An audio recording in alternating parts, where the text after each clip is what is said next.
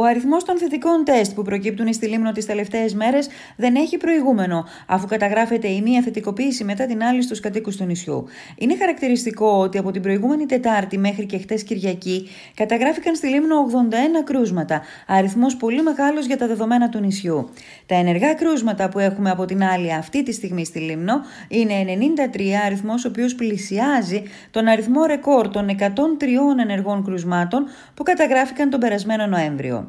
Το σκηνικό συμπληρώνεται με την απουσία διενέργειας rapid test από την κόμη Λίμνου, η οποία βρίσκεται σε απόλυτη αδράνεια τις τελευταίες δύο εβδομάδες, την πιο κρίσιμη δηλαδή χρονικά στιγμή, η οποία συμπίπτει με την έξαρση της παραλλαγής όμικρον και με τη ραγδαία αύξηση των κρουσμάτων. Το νοσοκομείο της Λίμνου τώρα κάνει γνωστό ότι όσοι κάτοικοι επιθυμούν να πιστοποιήσουν την νόσησή τους με την διενέργεια μοριακού τεστ, μετά όμως από θετικό rapid test, μπορούν να προσέρχονται κάθε Τρίτη και Πέμπτη 11 με 1 στο παλαιό θηρορείο του νοσοκομείου, όπου θα διενεργούνται δειγματοληψίες. Απαραίτητη προπόθεση είναι οι πολίτες να έχουν κλείσει προηγουμένως ραντεβού στο γραφείο της Επιτροπής Νοσοκομιακών Λοιμόξεων. Να σημειώσουμε εδώ ότι η συγκεκριμένη διαδικασία δεν είναι απαραίτητη για τους πλήρως εμβολιασμένους πολίτες.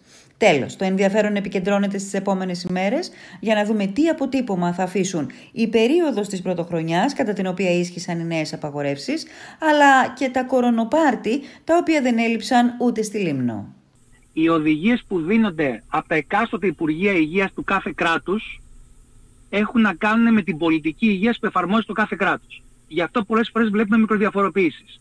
Από εκεί και πέρα η επιστήμη δεν αλλάζει. Η επιστήμη είναι μία. Το λέω γιατί πολλοί λένε γιατί εμείς έχουμε πέντε μέρες, γιατί άλλοι έχουν δέκα μέρες, γιατί έτσι αλλιώς, καταλάβατε. Πάμε λοιπόν τώρα στο ότι παίρνουμε τα δεδομένα τα επιστημονικά, τα οποία είναι αυτά που είπαμε, ότι μιλάμε για μια όμικρον, μιλάμε για μια όμικρον που μεταδίδεται πολύ εύκολα αλλά κάνει πιο ελαφρά συμπτώματα και πάμε όλο αυτό να το κάνουμε πολιτική υγείας.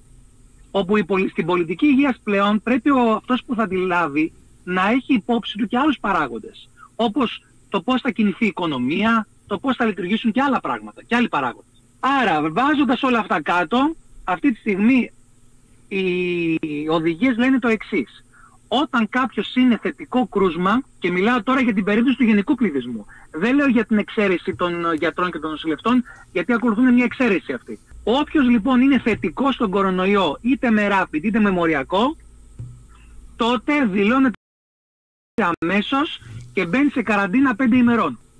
Η καραντίνα, για να ξέρει ο κόσμος γιατί μπερδεύονται με τις μέρες, η μέρα της διάγνωσης είναι η μέρα 0. Δεν είναι η μέρα 1, η μέρα της διάγνωσης είναι η μέρα 0. Από την, και, και, και, ξεκινάμε. Η επόμενη μέρα είναι νούμερο 1, νούμερο 2, νούμερο 3 και πάει μέχρι νούμερο 5.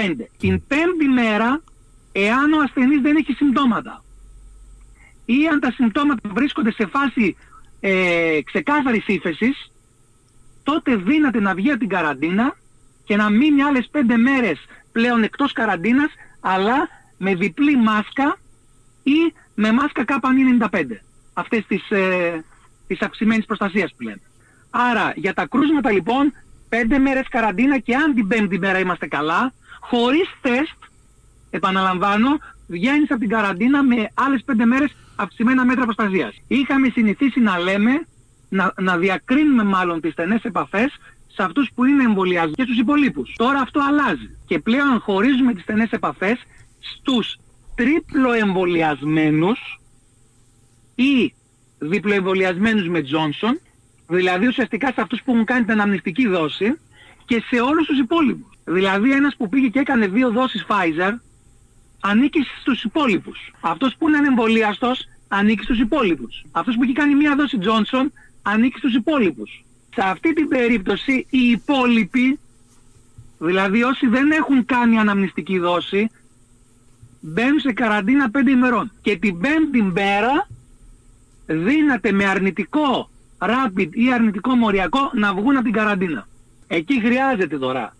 Οι δε τρίπλο εμβολιασμένοι ή να το πούμε γενικά αυτοί που έχουν κάνει και την αναμνηστική δόση μπορούν να μην μπουν σε καραντίνα αλλά να έχουν αυξημένα μέτρα προστασίας τουλάχιστον για ένα πενθήμερο.